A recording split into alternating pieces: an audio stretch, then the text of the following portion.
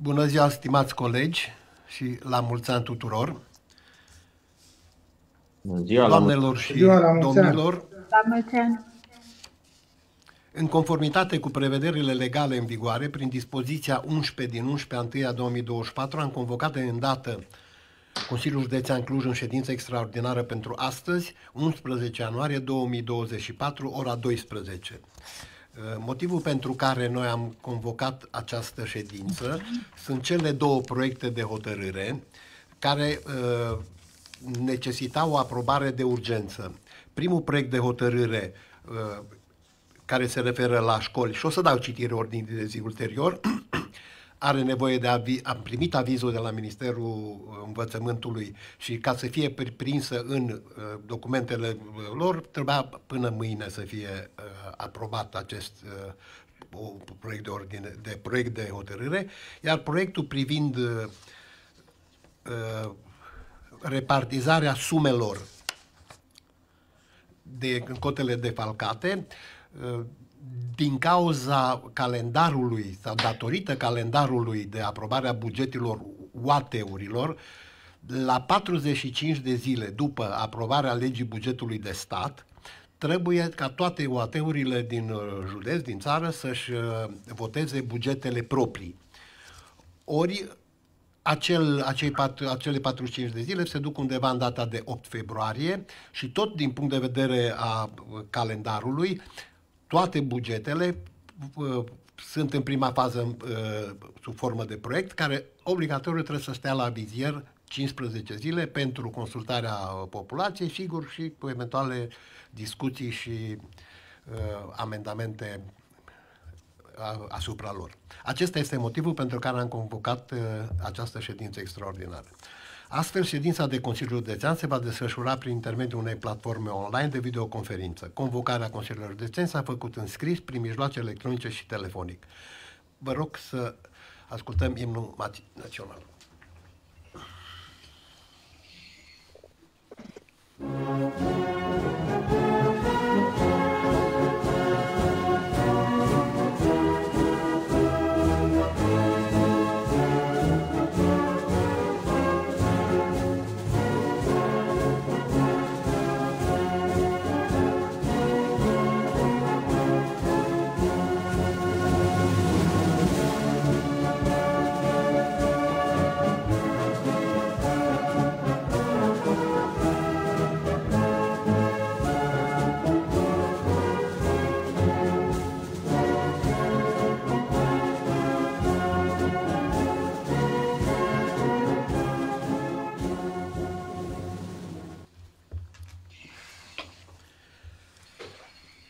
rog să pregătiți înregistrarea prezenței.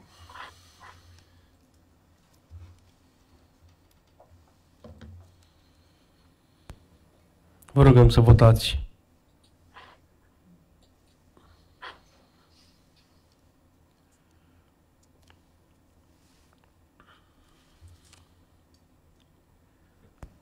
Înregistrarea s-a încheiat.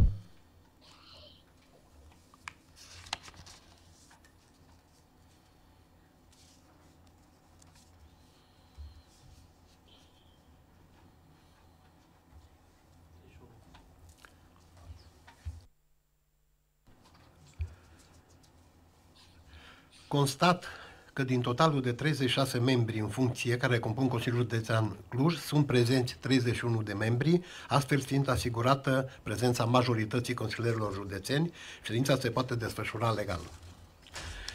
Îmi cer scuze, mie nu cred că mi-a apărut opțiunea de vot. Adela de Henesta sunt prezentă. Da, să rămână. Vă rog să verificați.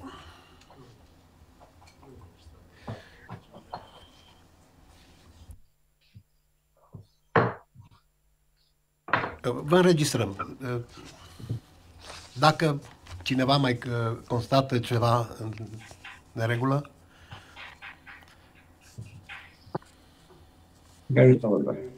Să vadă bolnii dacă mă înregistrează sau nu.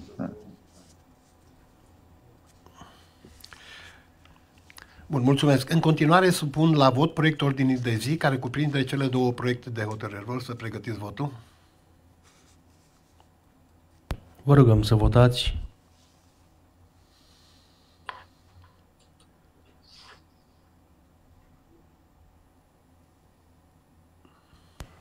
Votul s-a încheiat.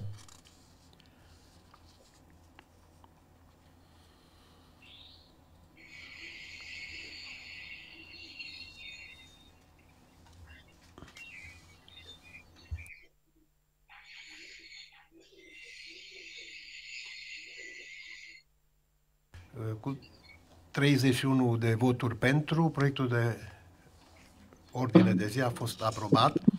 Dacă sunt situații de conflicte de interese, vă rog să le pre- prezentați. Bună ziua, Laura Elena Chioreanu, voi participa la dezbatere și la vot la punctul numărul 2 de pe ordinea de zi. Mulțumesc.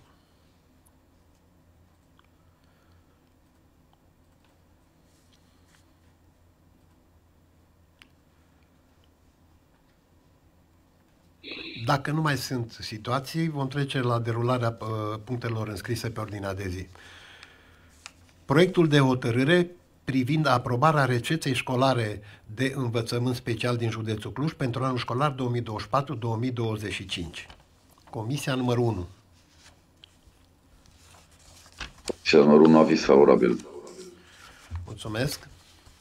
Dacă sunt luări de Ah, Cuvânt Îmi cer pe scuze, nu marginea era acestui Comisia proiect? 6? Sau amândouă? Bună ziua, nu era Și șasele? comisia 6 trecută pe convocator, nu. Da. Și eu așa am Comisia văzut. 6, vă rog. Comisia 6, aviz favorabil. Vă mulțumesc. Dacă sunt discuții lor de cuvânt pe marginea acestui proiect de hotărâre, dacă nu mai sunt lor de poziție, vă rog să pregătiți votul. Vă rugăm să votați.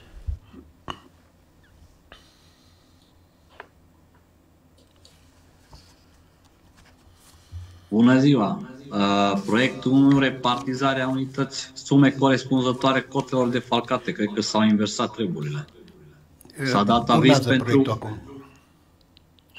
Urmează acum proiectul numărul 2. Ăla a fost api- afișat pe ecran proiectul 2 acum și noi votam proiectul 1. Deci proiectul nu a fost votat? Vă rog să pregătiți votul. Se schimbă, îl schimbă pe site și...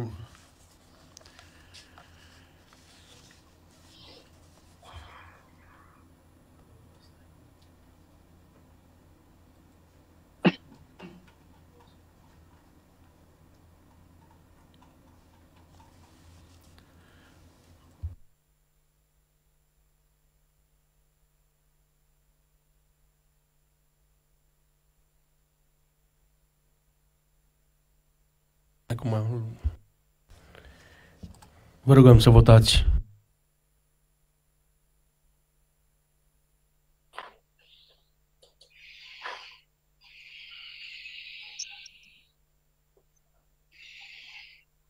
Votul s-a încheiat.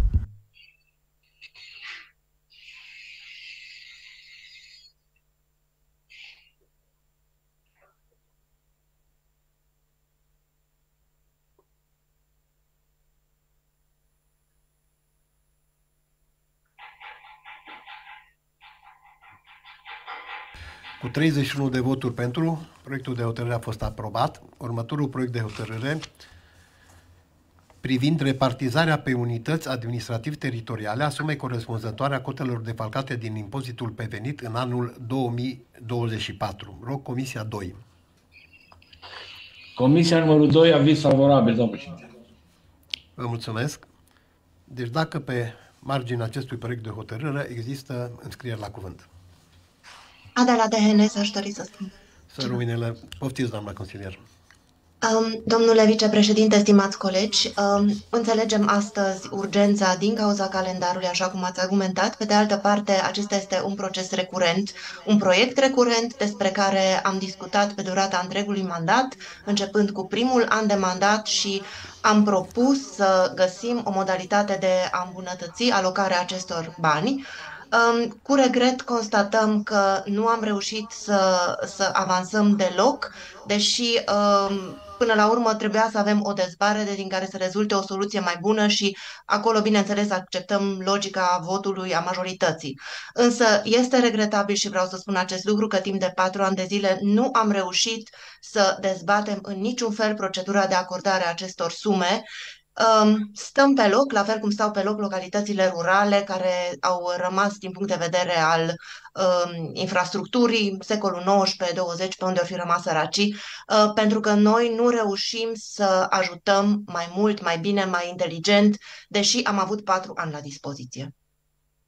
Se pare că în uh, logica electorală în ultimul an nu mai contează nici îmbunătățirea procedurilor, nici uh, binele cetățenilor, ci pe repede înainte facem cum am făcut și până acum, fără să fie avansat deloc. Spun asta pentru că am solicitat încă de anul trecut, respectiv din vară, să ni se pună la dispoziție listele cu prioritățile um, transmise de către primării. Puteam să analizăm, puteam să avansăm propuneri. Știu că sunt și alți colegi, nu de la partidul nostru, care uh, ar fi avut idei despre criterii, însă, din păcate, nu am reușit să facem nimic în această direcție. Mulțumesc! Mulțumesc. Dacă mai dorește cineva să se înscrie la Da, domnul cuvânt. președinte, eu aș vrea să mai uh, spun. Uh, nu e normal să primim un proiect care presupune alocarea 7 milioane jumate de euro cu 20 de minute înainte de ședința de comisie. Prin astfel de proiecte, practic, se desconsideră total munca noastră. La ce mai se convoacă comisii și Consiliu dacă trebuie să citim în 20 de minute un proiect prin care alocăm 7,5 milioane de euro? Nu e normal. Mi-aș dori să avem un pic de timp în care să apucăm să citim proiectele uh, care ni se puse la dispoziție. Atât. Mulțumesc. Mulțumesc, domnul consilier. De... Dacă mai dorește cineva să înscrie la cuvânt?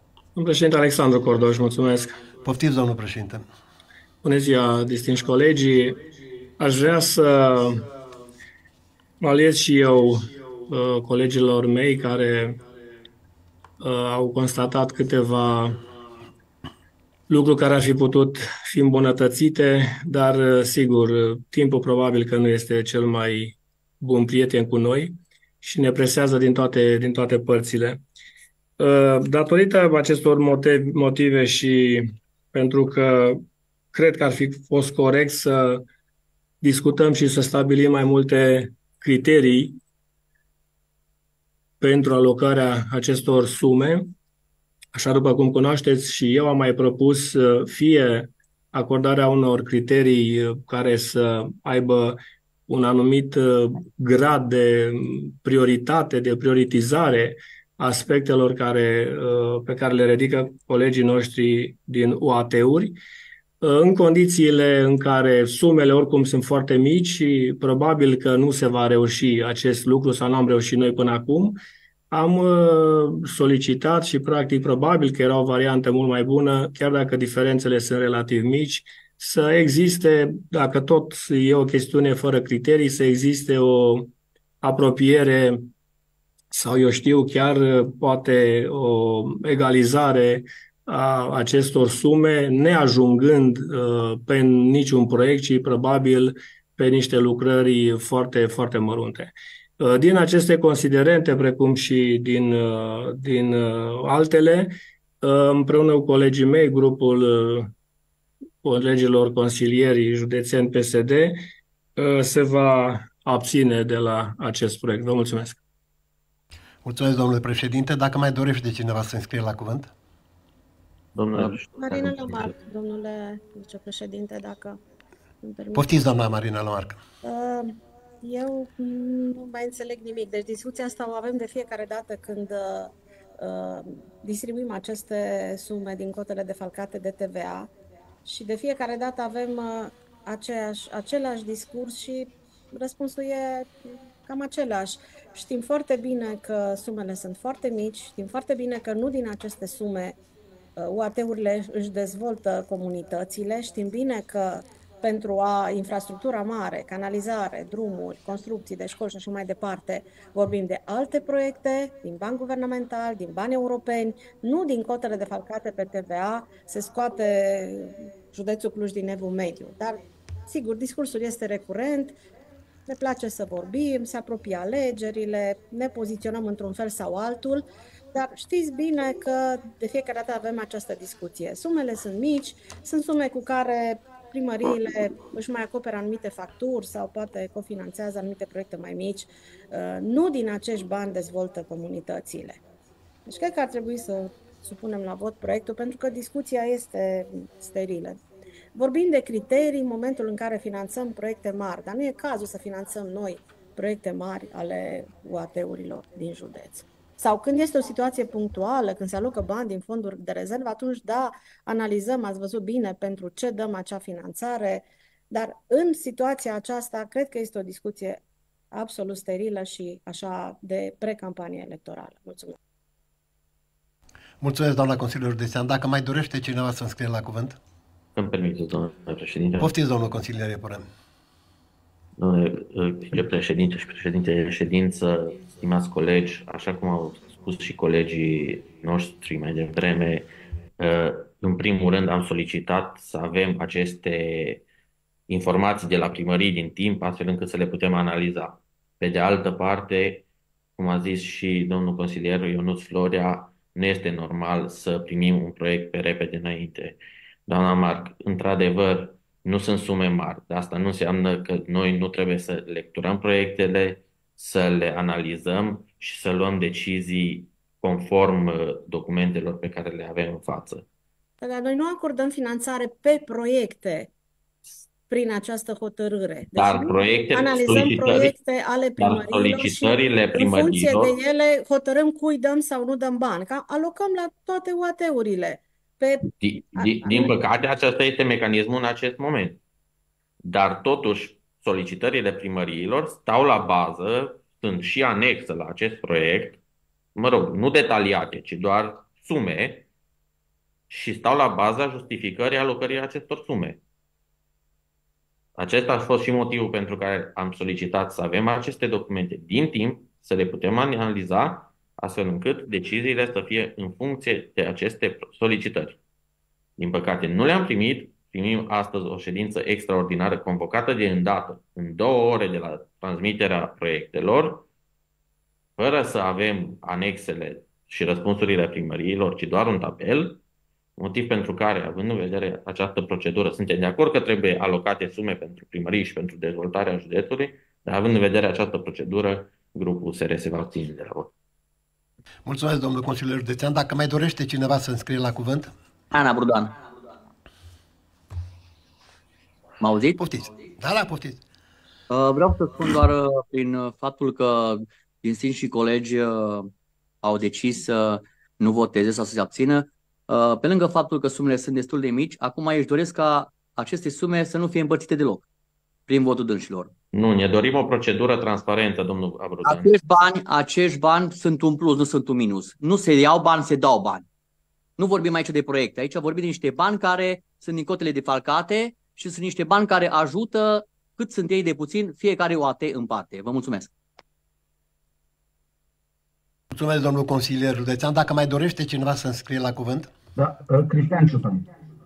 Da, domnul consilier județean, poftiți. Uh, bună ziua, uh, putem discuta cât dorim despre criterii de ierarhizare a priorităților, dar putem discuta atunci când avem și bugetele pe măsură. În contextul în care, dacă ați văzut în anexa la referat, solicitările sunt aproape de 100 de milioane de euro și noi împărțim vreo 7 milioane de euro, cum poți să selectezi uh, pe criterii? Sigur, dacă nu avea bugetul Uniunii Europene sau bugetul guvernului și sunt bani, și atunci, sigur, fiecare proiect trebuie, trebuie prioritizat în funcție de politicile la nivel de județ. Dar aici sunt sume mici, cum spunea și colega noastră, uh, doamna inspector școlar Marinera Mat, prin care OAT-urile își acoperă anumite cheltuieli.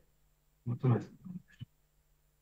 Mulțumesc, domnul consilier Dăcean. Dacă mai dorește cineva să înscrie la cuvânt? Dacă Am, nu, nu știu dacă pregătiți... mai îmi permiteți mie să... Da, doamnă, poftiți, poftiți, doamna consilier. Deci vreau să spun că ideea era să avem o dezbatere serioasă prin care să corelăm cererile primăriilor cu banii care sunt la dispoziție în felul în care noi putem zice, da, așa facem și așa am făcut întotdeauna și mergem înainte. Nu este corelat cu ceea ce se întâmplă în teritoriu. Despre asta este vorba. Și dincolo de asta, fără nicio supărare, trebuia doar să avem oportunitatea să discutăm, să dezbatem, să argumentăm și în final, prin regula votului, să se impună decizia care poate să se impună. Însă ceea ce noi regretăm este faptul că nu am avut posibilitatea efectiv să avansăm cu această discuție, cu această analiză. Nu spunem în acest moment că avem o soluție mai bună, ci că trebuia să fim angajați să găsim una mai bună. Pentru că nu există corelație între ceea ce au nevoie primăriile și ceea ce le dăm noi. Faptul că zicem sunt sume mici, păi după ce le împarți la 80 de OAT-uri este mică. În momentul când avem toată suma, putem gândi să finalizăm măcar câteva proiecte care să fie cap-coadă și să existe o finalitate astfel încât să zicem măcar acolo am făcut ceva, pentru că există această responsabilitate strategică de la nivelul județului pentru ceea ce se întâmplă în teritoriu. Măcar pentru ceva mic, unde putem ajuta. Am, am înțeles, mulțumesc, mulțumesc frumos. Dacă nu mai sunt artelor de cuvânt, să pregătiți votul.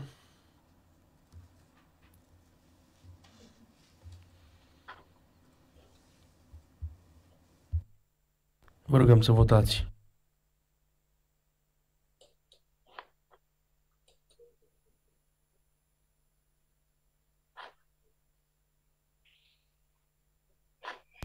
Votul s-a încheiat.